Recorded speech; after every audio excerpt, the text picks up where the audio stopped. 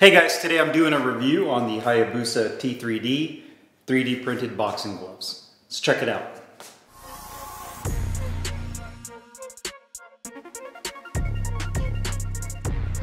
Hey guys, Carlo here, and today I'm doing a review on the Hayabusa T3D 3D printed boxing gloves. I got mine in this cobalt blue colorway. 16 ounces, it is a Velcro closure only model. You can get this anywhere between 10 to 18 ounces. Four different colorways, including the cobalt blue. You can also get this in red, dark gray, as well as a pearl white. It's made of a synthetic leather outside casing that they call Vylar, and it's pretty much the same material they use in their other synthetic gloves. For the padding, it utilizes their new 3D printed cell, or they call it 3D printed lattice, which replaces your traditional foam padding. And we'll discuss that in more detail here in a second. And lastly, the gloves are manufactured in China. Now, from a design standpoint, when you're looking at this glove, the first thing that sticks out to me is going to be the height and the width, and just kind of the overall shape of the glove. It does uh, look very similar to the traditional T3 glove in terms of the dimensions of the glove. Now, the aesthetics are obviously different when you're looking at it from the naked eye. You can tell that just from the design, it looks kind of different with the different design cues they use on the back as well as on the palm side of the glove. But if you're looking for a sizing reference, this to me is pretty much the same size, 16 for 16 when it comes to your traditional uh, Hayabusa T3 glove. So if you have a pair of three, T, uh, T3 and 16, they're gonna be pretty much identical in terms of sizing and fit with the T3D gloves. Um, coming on to the back side, we'll start there. You'll notice it uses that same synthetic Vylar uh, synthetic leather material that they use uh, for the outside casing. This one has a little bit more of a shine to it and I'm sure that is by design where some of the other uh, models are a little bit more of a matte finish, but this one has a little bit more of a shinier finish to it.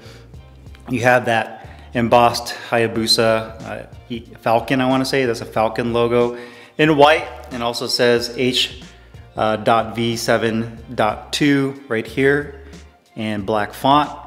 Um, and like I showed you guys a couple weeks ago in the unboxing video, um, you have this window right here. It's kind of, it has a rubberized window that exposes that 3D printed cell. Now, 3D printing has been around for a very long time now and started getting really more popular over the last couple of years um, in terms of people using them for like mouth guards and other types of you know, polyurethane rubber type products. They use them for casting. There's so many different uses for 3D printing. A lot of people do 3D printing in their own home. You know, they have beginner level 3D printing devices all the way up to, you know, commercial grade stuff. So that's essentially what you're looking at here is that 3D printed cell.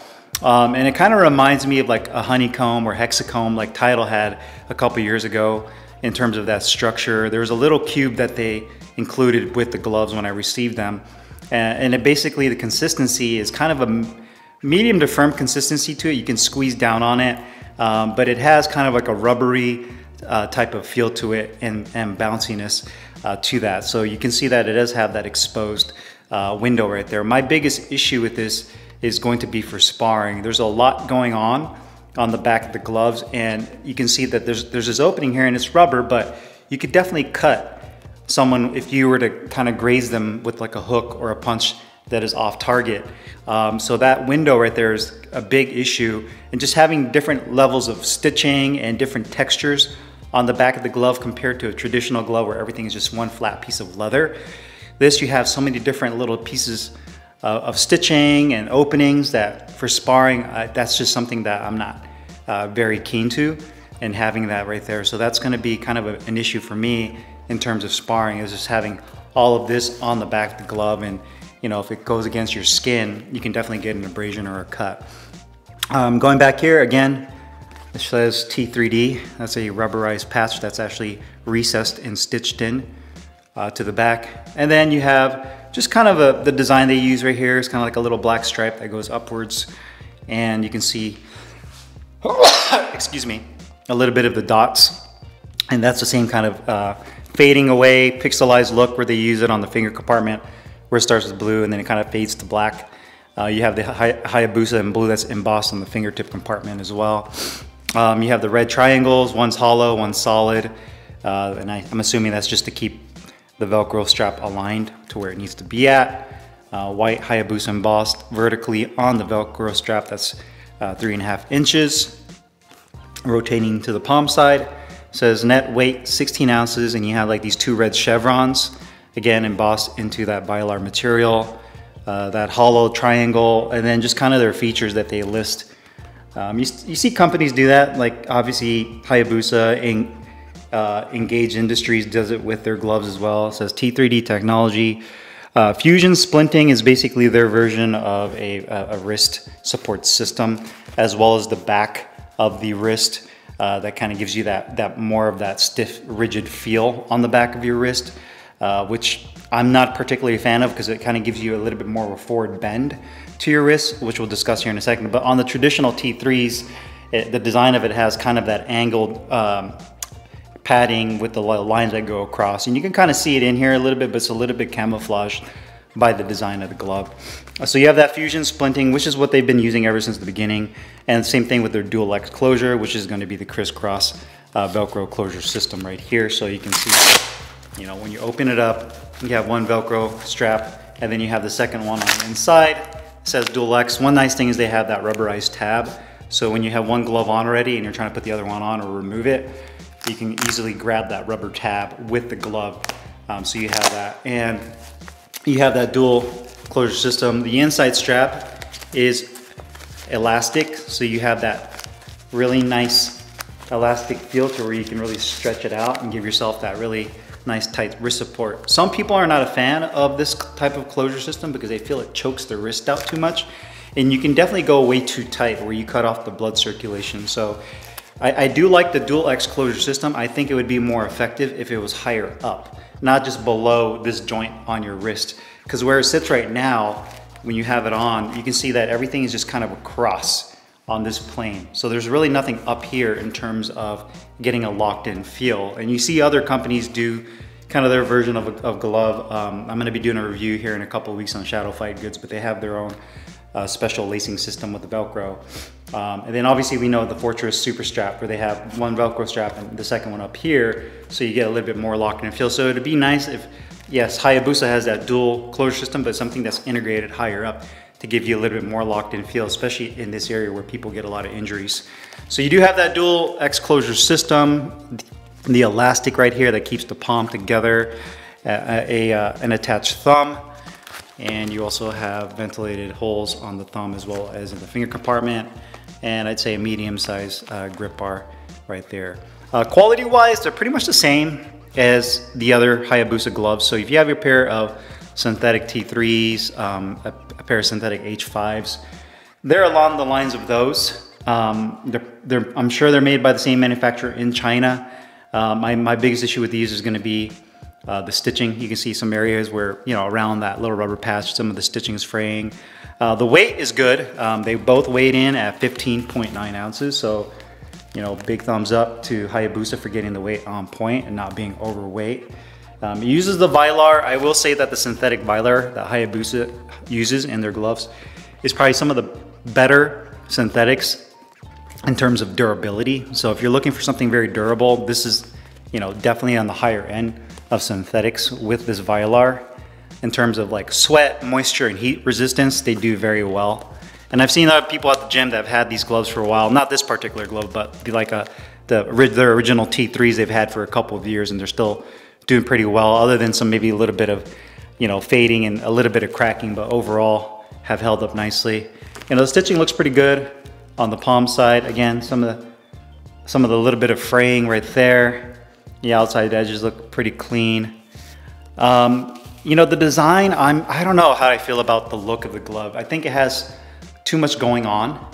Um, I feel like they, they could have gone without this little window right here. I know what they're trying to do. They're trying to just show you like, hey, you know, what you're really getting is that 3D printed foam. So it's almost like they're trying to market that 3D printed cell. So I said foam, but that cell. So they're basically trying to make that the centerpiece of the glove to show off. But to me, it kind of loses the effectiveness of the glove and it just kind of feels like it's a little bit overdone. Um, and same thing with like, you have like these four little embossed stripes with those arrows on the thumb.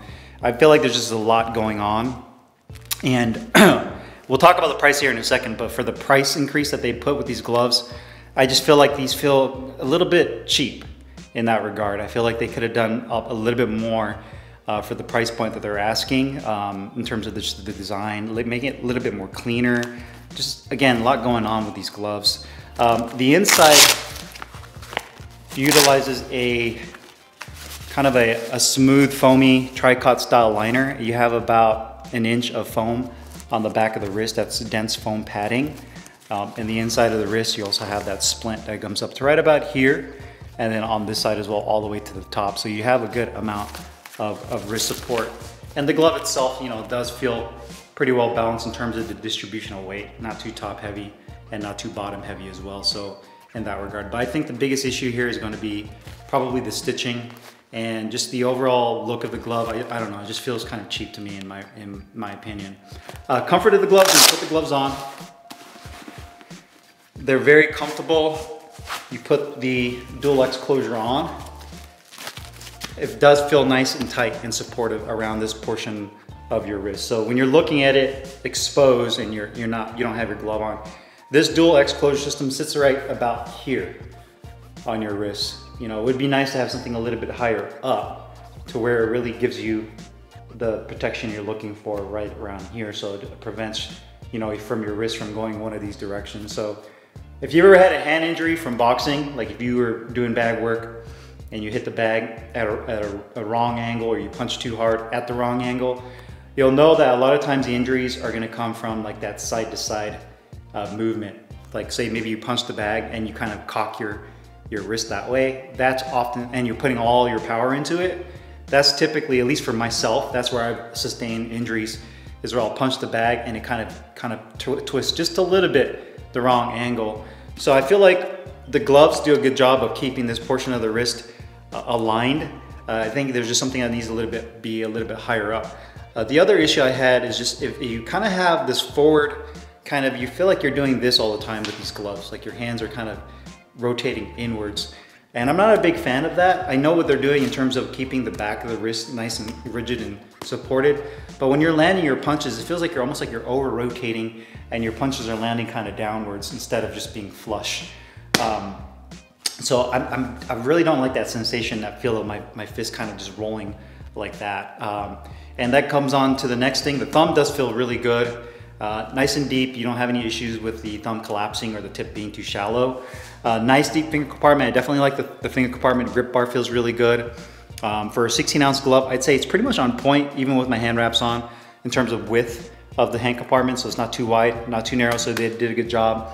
Uh, one thing I did notice they, they mentioned in the description of these gloves is that they're broken in. They definitely are not. Um, these gloves are very stiff. I mean, I can't open my hand past that.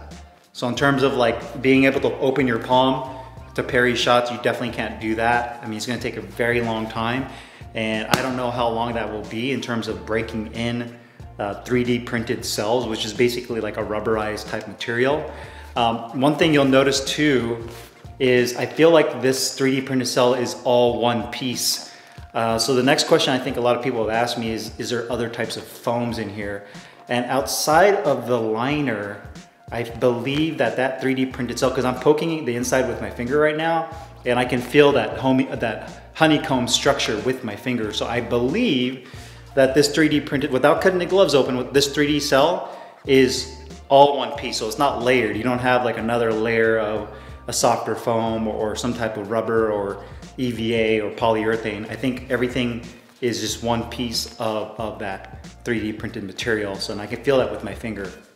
You do have kind of a rolled piece of uh, foam on your finger compartment that gives you that nice secondary grip bar feel. So overall, the comfort is definitely there. I think they're comfortable. I do like the liner. It doesn't bunch up. Um, I just wish the gloves were more broken in and not so stiff to where I can't even open my hands. Uh, now, the protection and performance of these gloves. That's gonna be the biggest feature and I guess expectations for these gloves.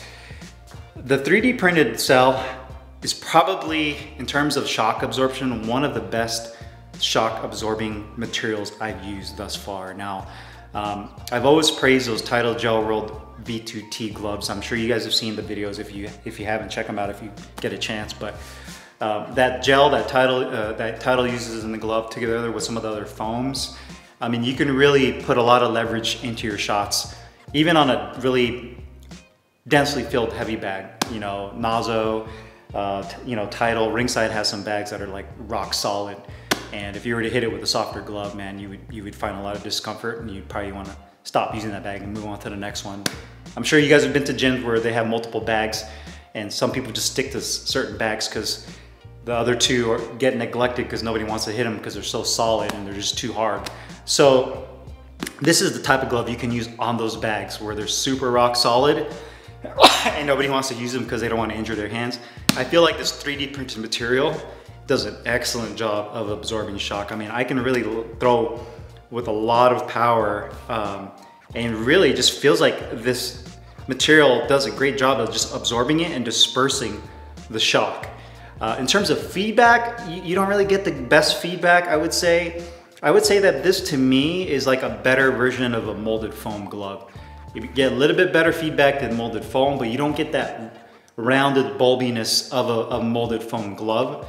Um, but you definitely get the, the, the great shock absorption and that more compressed feel rather than a bouncy feel. So I do like the fact that when you land, you get more of that compressed feel because of how that cell kind of crushes down on each other because each cell has like a little open pocket. So when you're basically landing on it, it kind of compresses down where foam is all one solid piece where these cells are kind of open in between. So it does compress nicely. So you get a nice sensation of landing your shot, but the shock absorption, I mean, if you have an injured knuckle or, or something is bruised on your knuckles and you're looking for a glove that you can really feel confident in still going to the gym and training and not worrying about re-injuring your knuckle, then this definitely would be up your wheelhouse in that regard uh, with the 3D print itself. So that to me is the best thing about the glove is the level of protection that you get with these. Cost-wise, on the flip side, are, these are extremely expensive for what they are. These gloves are $349, which is a big jump from their traditional T3 um, Vylar synthetic gloves, which I believe go for, and correct me, I think they're like 179 or 189. And then they have their genuine leather T3s, which I think are 249.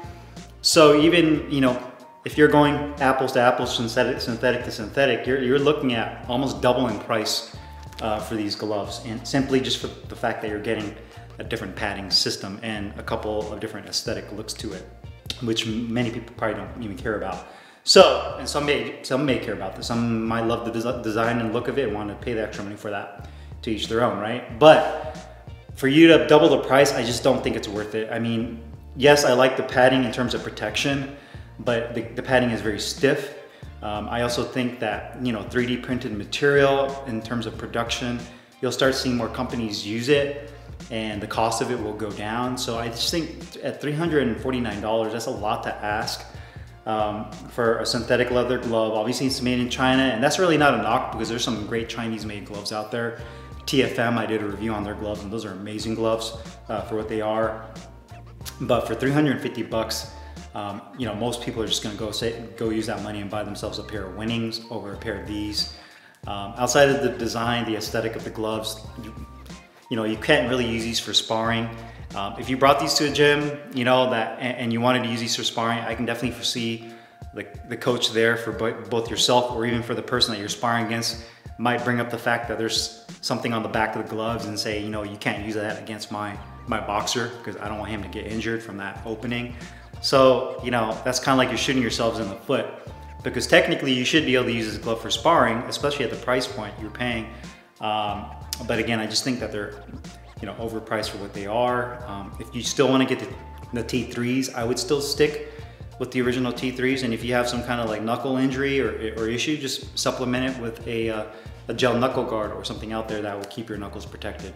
Um, but currently as it sits, I do think that there is a future for 3D printing when it comes to padding, uh, but I would wait, in my opinion, for it to kind of evolve and became a, become a little bit more mainstream in terms of other companies using it.